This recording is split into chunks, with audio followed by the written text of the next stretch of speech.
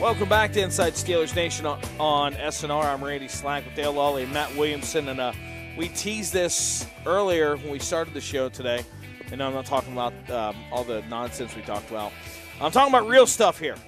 We've been talking about Blake Bortles, and Dale brought up the uh, the point: what NFL teams would Blake Bortles have started for in 2017, other than the Jacksonville Jaguars? Hmm.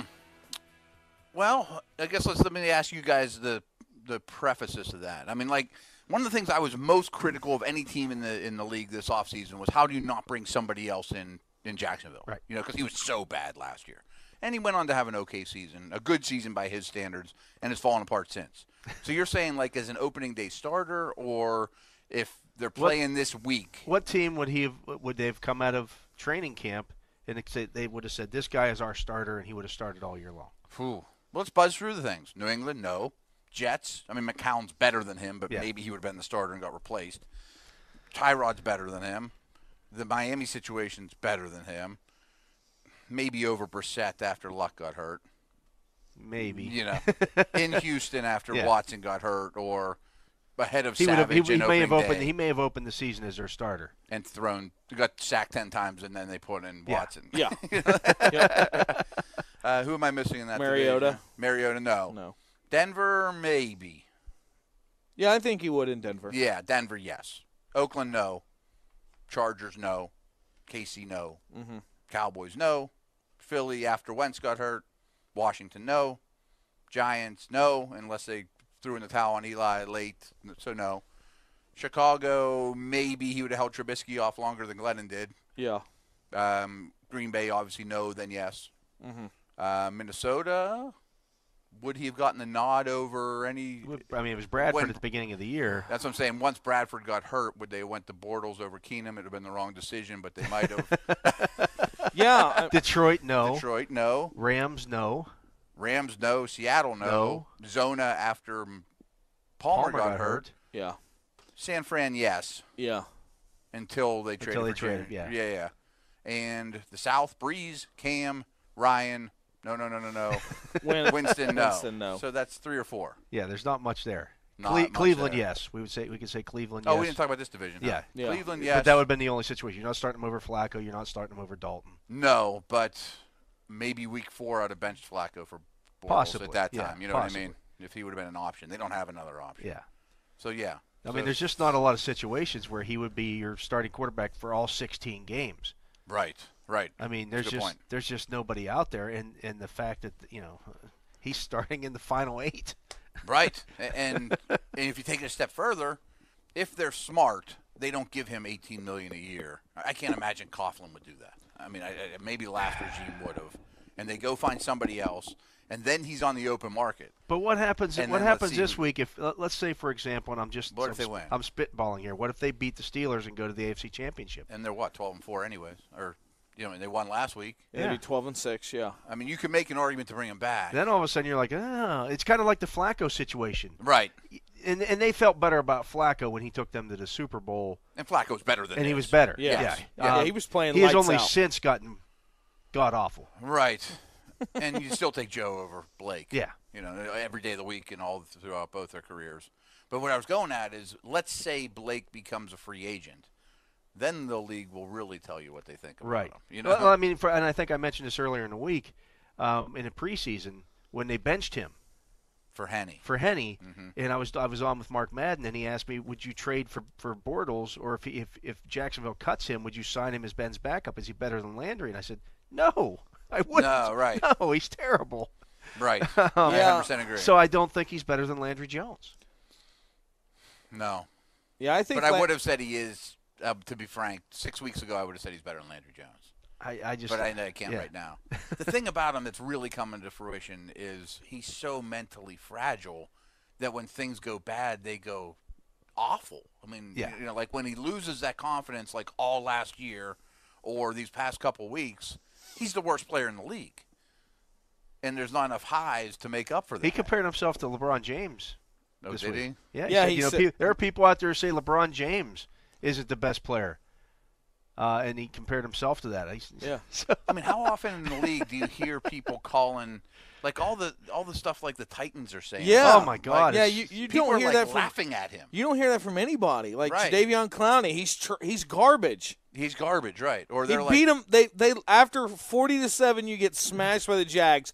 He's garbage. he's garbage, right? Vontaze Burfict said said stuff. We got we don't, we're not worried about Blake Bortles when we play the Jaguars. Kelvin Beachum did last year. You know, former Steeler said Yeah. something along the lines of, "This guy's just fragile." You know, Earl like- Thomas and Michael Bennett said that. And, and this week, somebody said from Tennessee saying, "We're going to turn Tom Brady into Blake Bortles." Yeah, Byers. It was yeah, Uh, yeah. It was uh, the, Kevin uh, Byard. Byard, Byard, okay. yeah. Byard. Okay. Um, Like nobody makes fun of people in the league publicly to that degree. Right. People are, people are upset about like the Jaguars possibly using what Mike Mitchell said as bulletin board material that they're going to be they're going right. to No one's worried about. Nobody's worried about people Blake. saying Blake Bortles sucks. Right. Like he's garbage. And they're openly saying it, and other teams are saying it on every week. Blake Bortles on the inside, in the ins- insults. It will probably never stop. That's that's what he said. Uh, and, and here's his quote. He said, "It'll probably never stop." There's people that think LeBron James sucks. So if that happens, I'm sure there will be a lot of people that always think that I suck. so he's not exactly comparing himself to LeBron James, but He just used himself and LeBron James In in, the the, same- same, sentence. yes. I mean, I hear Uh, that. That's, and they aren't very similar. And I don't even know anything about no, basketball. they're both tall guys. I mean, right. They're both making a lot of money. Um, I mean, he's won. He's beat the Steelers in Heinz Field and won a playoff game Did without he- throwing for 100 he- yards in Did he be really beat this? I mean, Well, he has a win. he has a, Quarterback a win. win-loss Yeah, he threw eight, he, he completed eight passes in the game. Let's Yeah, not- right. Well, and he and threw that- 14 last week And that's the thing or is that game. you know when when you talk about him and people are like, "Oh, well, I'm not worried about Blake Bortles." Well, he he literally can do basically nothing, and they can still win games. That's the thing, The- right? The, I mean, the they game, know who he is. When they played the Titans at the end of the year, the game they lost, they were they just kept the Titans couldn't really score. They couldn't really get anything going, and then eventually one of their the Jaguars D lineman gets a sack fumble, return for a touchdown. Mm-hmm. They have five of those right, it's insane. where their guys just they're they're big athletic D linemen, sack fumble, scoop score. That happens, and it's he doesn't have to beat them. He, he doesn't have to beat the Steelers. He doesn't have to beat anybody.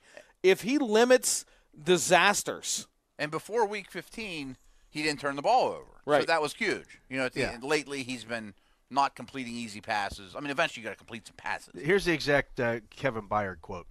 This is a playoff game, so I don't really care if it was Joe Montana. You know what I'm saying? I'm I'm going I'm trying to go out there and win this game. I want to make him look like Blake Bortles if I can and try to catch a couple of picks. Tom Brady's a great quarterback, but it's a playoff game, and I'm not really looking at it, at it like that. Bortles isn't even in that game, and they, they go out of their way to make fun of this guy. right? I mean, that's crazy. Did they not see the half Nate Peterman had against the Chargers? Right. There were worse quarterbacks. But Nate Peterman hasn't it wasn't like a 16 game starter. I mean, he wasn't the third overall pick in the draft. Yeah, right, Yeah. right. But even at that, like people didn't talk about Akili Smith like that. no, no, nobody. I did. I don't. you probably Yeah, did you may have. after a while. Yeah. But I don't ever remember any any uh, teams talking about Like a quarterback. laughing Pub- yeah. at him. I mean, just laughing at Yeah. him. You know, right? It's just Like they didn't. I don't know if they even went to that point with Tebow. Like there were No, people that would right. say like, Oh, if you eh, said bad things about Tebow, I mean, you were getting struck down Yeah. from the heavens. but you know nobody nobody would openly make you know make fun of him that much. No, and he couldn't complete passes either. All right, so if they had Kirk Cousins for the whole year, are they the best team in the league? I think Possibly, yes. Yeah. Yeah. Possibly. Yeah. Yeah, Yeah, I think I think the Now the, Steelers. the the weapons aren't great. No. I think the Steelers are going to Jacksonville this weekend, potentially. Steelers are going to Jacksonville. If Kirk Cousins was the Oh, yeah, starter yeah, for the yeah, yeah. Jags, then they they would have gotten the first round. they would have bye. ran away with that division. Yeah, they would have went like fourteen and two, and, And you'd be a lot more scared of them. yeah, I mean, for sure.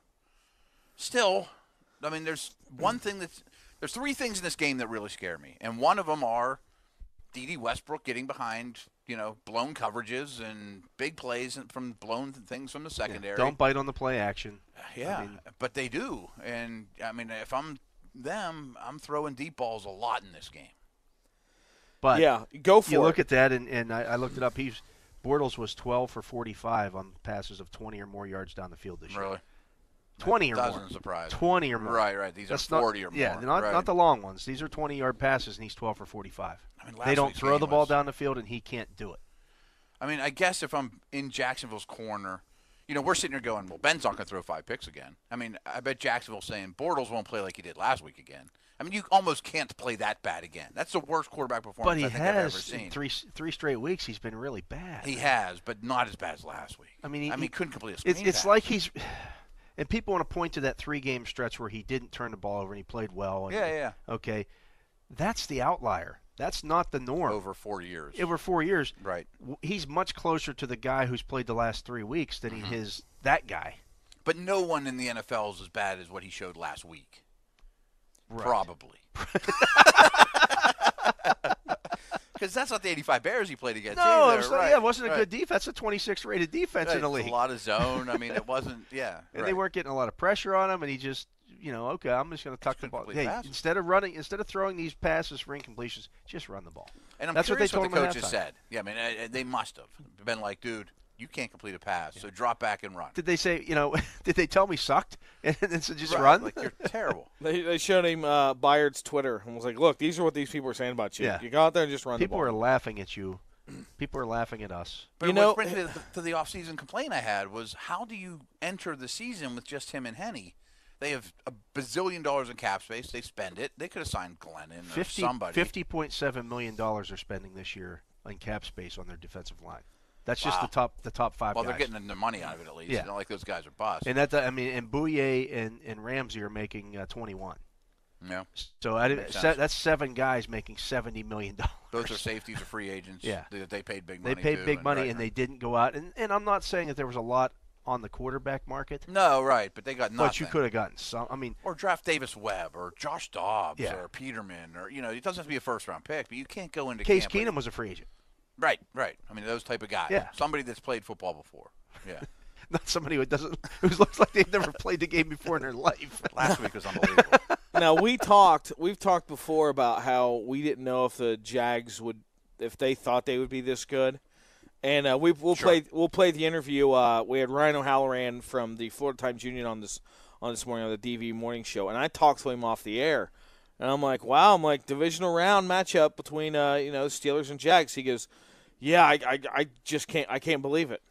Like they're they're down there, and you know they're playing with house money. yeah, they won a game. They won a game, postseason and game, I don't right. think I don't think a they thought they'd make the playoffs, and then b they'd be in the second round. But we talked about Right. that before that game. Had they gotten any other matchup, Yeah, they lose. we probably pick against them. yeah, they If lose. I mean, they're the not. Chargers. Or, They scored 10 points. right.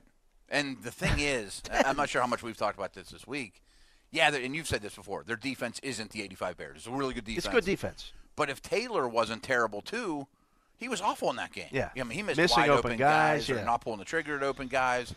That they could have lost that game by 20. Yeah. You know. And, and the Bills, I mean, they had an opportunity down close to punch one in early, Mhm. and that would have put some pressure on the on the Jacksonville offense, and they didn't get it done. And then they gave them three points at the end of the first half. Yeah, that too. Right. I mean, you know, they and the only thing they did good on offense was Bortles running. Yeah. You can't live, live live like that. He's not Vic. I mean, he's not Cam Newton. I mean, last night a couple, you know, Wolf and Benz were bringing it up a little bit, like we got to limit his running. I'm like, yeah, but if he runs for 80 yards, that doesn't mean they're going to drop 30 on you. no. I, I mean, mean, so they so they run for 150 yards as a team and throw for, you know, 60, and For they 12, they yeah. lose, you know, 28 to seven.